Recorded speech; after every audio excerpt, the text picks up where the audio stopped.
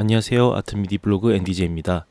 네, 이번 영상에서도 Drum Rack에 관련된 그런 팁을 하나 드리려고 하는데요.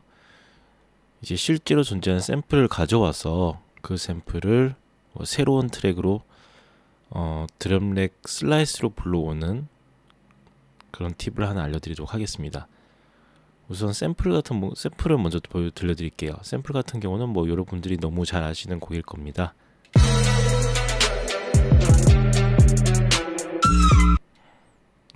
이 노래 다 아마 아실 거예요. 어, 지코가 쇼미더모니포에서 작곡했던 거북선이라는 곡인데요. 이 샘플을 저희가 구간별로 잘라서 뭐 Drum Rack에 각 slice로 넣어서 악기처럼 사용해 보도록 하겠습니다. 우선 여기 샘플에서 더블 클릭 해 주시면 waveform 옆에 웨이 warp라는 게 있어요.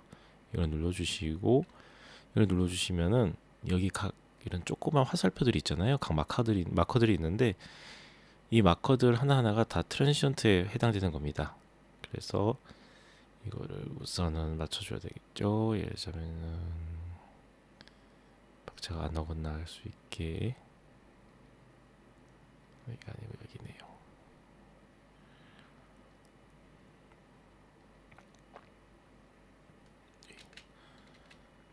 이렇게 해서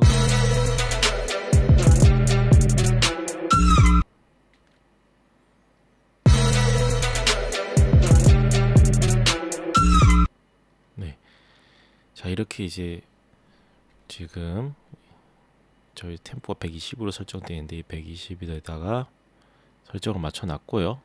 여기가 바이 템포가 이제 맞게끔 이제 저희가 warp로 다 샘플을 곡에 맞춰 놨고 그리고 이제 transient들을 어 원래 이거를 자동으로 slice가 되긴 하지만 저 같은 경우는 가끔은 이제 Ableton Live 당연히 AI가 아니니까 slice를 제가 원하지 않는 부분에서 해줄 때가 있더라고요. 그래서 저는 사실 저는 이제 차라리 transient로 미리 자를 구간을 정해 놓고 그리고 slice를 시킵니다. 자, 그러면 한번 들어보면서 해볼게요.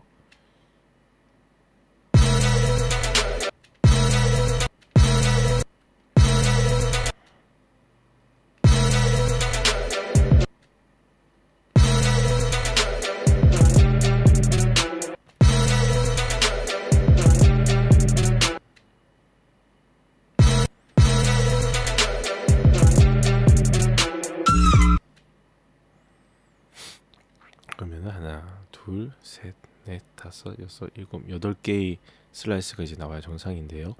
이렇게 잘라 놓고 한번 해보겠습니다. 여기 보시면 Slice to New MIDI Track이 있죠. 다른 것들도 있어요. 근데 이거는 좀 어, 뭐라고 해야 될까요?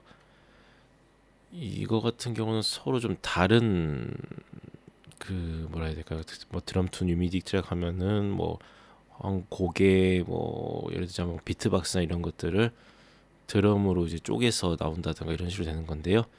그냥 샘플 자체 순수 샘플을 자를 거면은 Slice to New MIDI Track을 하시면 됩니다. 이걸 클릭하시고 저는 이제 warp, warp maker로 할 marker로 하려니까 warp marker로 선택해 주시고요. transient로 하시면 여기 나와 있는 화살표들을 전부 다 잘릴 겁니다. 이거 bar는 이제 마디 뭐 이분의 1 너트 이런 식으로 이거 나눠서 적당 정확히 나눠서 이제 잘라지는 거고요. 저는 warp marker로 하겠습니다. 그러면은 이걸 보시면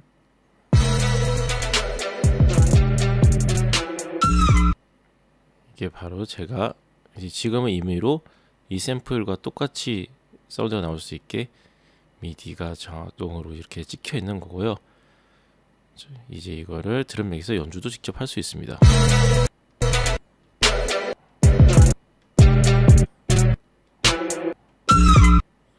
이렇게 연주를 해줄 수 있는 거죠.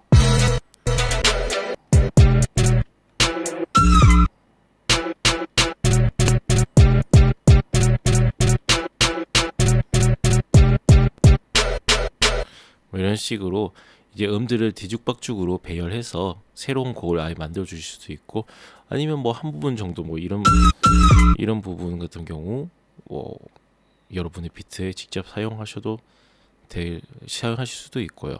그러니까 뭐 예를 들자면은 딱 이제 방금 제가 보여드렸던 이 부분만 많이 쓰고 싶다. 그럼 저번에 이제 저희가 보여드렸던 팁 중에 지금 이제 여기 가져와 놨어요. 그래서 이제 이거를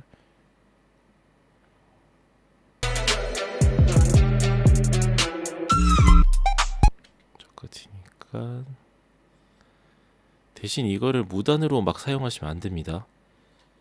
저 같은 경우도 그러니까 곡을 이제 만드시고 나서 뭐 누구 곡의 샘플을 썼다라고 밝혀주시거나 아무튼 합의를 잘 보시고 하셔야 돼요. 안 그러면은 남이 굉장히 힘들게 만 힘들게 사운드 디자인하고 했던 것들을 무단으로 사용하게 되는 거기 때문에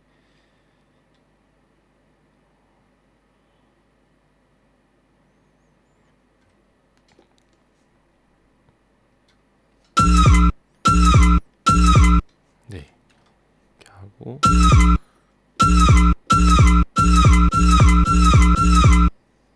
제가 페이드인을 한 이유는 그 궁궁하는 베이스음이 너무 세서 어, 저는 사실 그 갈매기 소리라고 해야 되나요? 그 소리만 쓰고 싶은 건데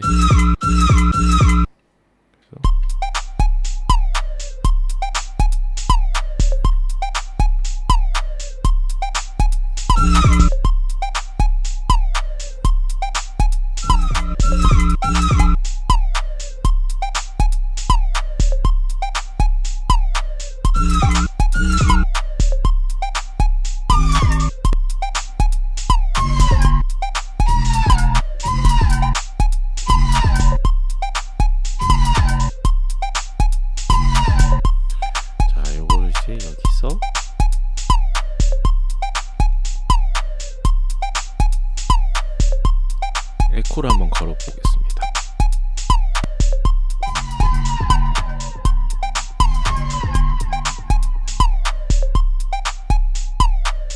이런 식으로 이제 뭐 섞어서 쓸 수도 있는 거고요.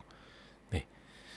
자, 뭐 어쨌든 어 이런 식으로 드럼넷 같은 경우는 여러 방면으로 이렇게 활용을 해서 잘 사용하실 수 있습니다. 네.